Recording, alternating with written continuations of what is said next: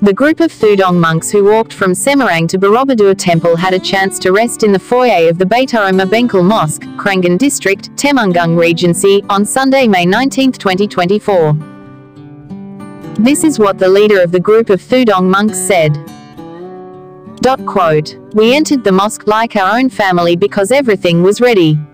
After we drank, we prayed together, said Bant Kamzai Sumano to reporters. He appreciated the warm welcome at the mosque. Dot. The Baiturrohmah Bengkal Mosque is located on the edge of the Magelang Temanggung Highway.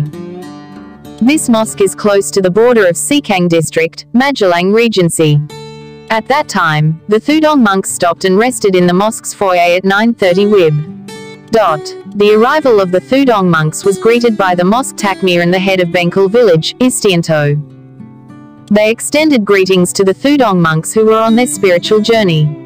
Dot. It is known that photos and videos recording a group of Thudong monks resting in the mosque foyer went viral on social media.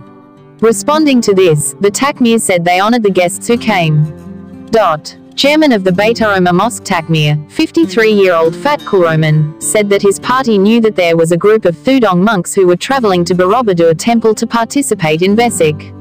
Then the Thudong committee in Temanggung sent a letter to the mosque Takmir asking permission to rest on the way. The drinks provided include coffee, dawet, soda and other supplement drinks.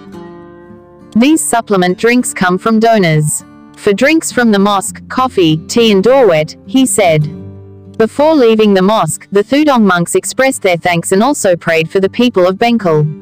Fatkul Roman added that local residents at that time were also enthusiastic about welcoming the group of Thudong monks.